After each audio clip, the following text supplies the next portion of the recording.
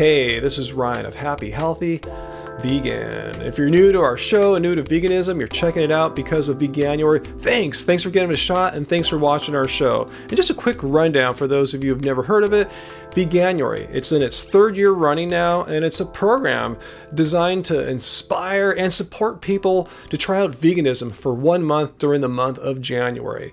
So once your friends and family catch wind that you're going vegan for a month, you might not be ready for the barrage of weird questions that you'll get. We hear them all the time as long-term vegans, so that's why I'm making this episode to help you out to deal with all the dumb, silly questions you're gonna get. All right, so the number one stupid question you'll get asked as a one month or 10 year vegan is where do you get your protein? It seems like most people I talk to have this weird mistaken belief, probably given to them by mass media somehow, is that Plants have no protein. The only way to get protein is to eat a dead animal or at least have some of its milk or cheese or eggs or something like that. No, nothing be further from the truth. All plants have protein. Yes, all. You heard it here. If you don't believe me, just Google it. All plants have protein. So as long as you're eating sufficient calories, get enough food, you're going to get enough protein. Don't believe me? Go check out the American Dietetics Association, a very boring, stodgy, non-pro-vegan organization. And they even recommend a vegan diet as appropriate for all stages of life. If you feel like you have to get a little extra protein for some odd reason, no problem. Have some quinoa, have some broccoli, have some pumpkin seeds, have all manners of legumes. They're all packed with protein if you need a little bit more. And another stupid question you'll probably get asked, because I hear this all the time when I talk to people about how I'm vegan, is doesn't a vegan diet make you weak?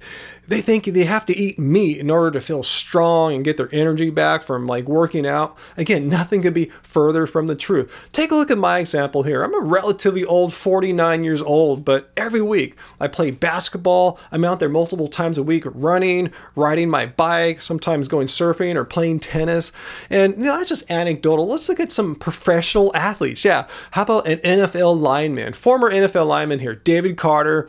No, Noah met him a few times, really cool guy, full on vegan. Check him out, the 300 pound vegan. In professional basketball, we have Wilson Chandler of the Denver Nuggets, 29 years old, playing the best basketball he's had since 2011 with a recent series of back to back nights of 25 point plus games.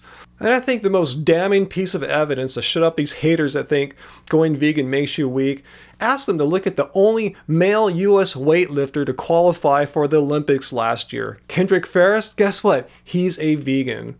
Perhaps the stupidest thing you'll hear from people who are opposed to going vegan is they'll come out and say, well, plants have feelings, plants can feel pain. Well, no, that's the stupidest thing ever. Plants don't have the necessary physiology to experience emotions and feelings. They don't have a brain, let's say. They don't have a central nervous system. They can't feel anger or embarrassment or pain. It's just a silly thing that people will throw at you.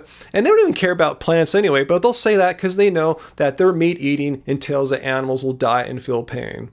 And another silly thing you're probably going to hear from some people is this following question. Well, what if everyone went vegan overnight? What would happen to the, all the animals? Would we just let them loose and roam the earth? Well, they do have a strange, valid point in the sense that they don't realize it though, but 70 billion animals are raised to be killed for humans to eat meat and have milk and all that stuff every year. 70 billion animals. So yeah, if they were all released at the same time, it would be complete chaos. But it would never work like that in the real world. Yeah, veganism is making gains, gradual gains. So each year that more and more people go vegan, the amount of animals that need to be raised for the slaughter decreases. So eventually there'll come a point where we'll have fewer and fewer animals. There'll never be billions of animals released uh, onto the world. It just doesn't work like that. It's just plain silly. Another thing you might get from people, and this one just really bugs me because it's so untrue, is that I could never afford to be vegan. It just costs way too much money. Well, depends what you're eating. If you're eating a bunch of expensive processed foods, yeah, they might have a point, but I'm talking about the basics of a whole food, plant based diet. The basic foods. There's nothing in the world out there that's cheaper. It's because the poorest people in the world live off this stuff. I'm talking about rice. You get like a 20 pound sack of rice for like 15 bucks at some markets. That'll last you for weeks, maybe months. Potatoes, same thing. Get a big 20 pound sack of potatoes for like five to 10 bucks. Bananas, a 40 pound box for 15 to $20. Legumes are cheap too. And you'll probably hear from some bacon lovers like, mmm, bacon, I can't give up my bacon. Well, I guess they can't give up getting cancer too. Yes, the World Health Organization just came out last year proclaiming processed meats, and that includes bacon, as being class two. That means probable carcinogens. Well, let's compare that to plants. How many whole food plants are classified as carcinogens? None. And speaking of the World Health Organization, if people adopted a diet based on their guidelines, a plant based diet, approximately 5 million lives would be saved from eating healthier, like eating less diseases. 5 million lives per year. And food based, food related greenhouse gases would be cut by about two thirds so if Veganuary is what brought you here to this video, just stop watching this right now. Go over to Netflix and check out Cowspiracy. If you're new to this, you're probably totally unaware of the ecological disaster we're bringing on to our planet and ourselves through animal agriculture. So go check that out right away.